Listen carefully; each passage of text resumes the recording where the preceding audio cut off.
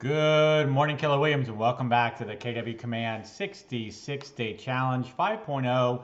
And today is day nine. Today, I want to talk to you about contacts and neighborhoods, the important relationship that Keller Williams has with Nextdoor, and the ability to add contacts to a Nextdoor neighborhood if they exist or if it's a neighborhood that they may be interested in. So first, let's talk about our command contacts in general. So if I come into this command contact, I can click on Aaron Aronson and I can see that Aaron has been assigned to a Nextdoor neighborhood. Now I can tell that Aaron has been assigned to this neighborhood manually because Aaron does not currently have an address associated with his contact record. However, if I were to go into a contact that had not been assigned to a neighborhood and also did not have a home address, I can show you how by adding a home address, Command is going to check with Nextdoor to see if that address is associated with the Nextdoor neighborhood, and if so, automatically assign. So let me go in, I'm gonna click on the pencil button to basically make edits to this actual contact record. I'm gonna come down to additional contact information, and where it says street address, I'm going to put in the address for this contact. First things first, you'll see that we have a partnership with Google Maps, with Google and such by such their Google Maps product. And so as I'm typing in this actual address, you can see that it starts to give me suggested addresses based upon my current location. And so I can choose one of these. In fact, I should choose one of these to ensure that the Nextdoor neighborhood mapping function is correct because it relies on the Google address to make that happen. So I'm going to choose Fawn Lake Circle here in Katy. I'm going to come down and save this contact record. Now that I have added this address, you can see that this contact has now been associated with a Nextdoor neighborhood. What essentially just happened is by saving this address, Google and Command just worked together to ping Nextdoor and said, hey, Nextdoor, do you recognize this Google approved address? And if so, do you have a Nextdoor neighborhood surrounding said address? If so, what are the boundaries and what is the name of that address?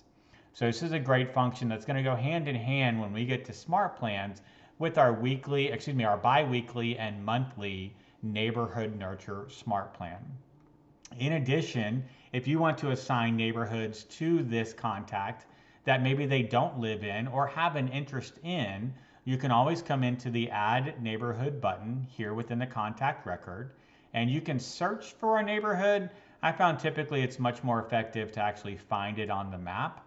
Um, and so you could say, okay, well, do you have an address in that neighborhood? Um, is that your particular neighborhood? Is it neighborhood surrounding a particular area? So I can either search for a particular address, let's say uh, they saw a house at this address they were really interested in, but the house is no longer on the market. However, they're still interested in that specific neighborhood. Well, great, I can now assign them to the entire Imperial Woods neighborhood. And that way, when they start getting their emails from the biweekly or monthly neighborhood nurture, they're going to get information about Fawn Lake Pine Lakes and Imperial Woods and we can even do a preview to see what that looks like. And now based upon the Fawn Lake Pine Lakes neighborhood, what's happening there, and then what's also happening in the Imperial Woods neighborhood as well. If we come back to command contacts, I can also see finally if I want to work on getting more of my contacts assigned to a neighborhood, we do have a filter built into command contacts that says has neighborhoods and there's a yes or a no.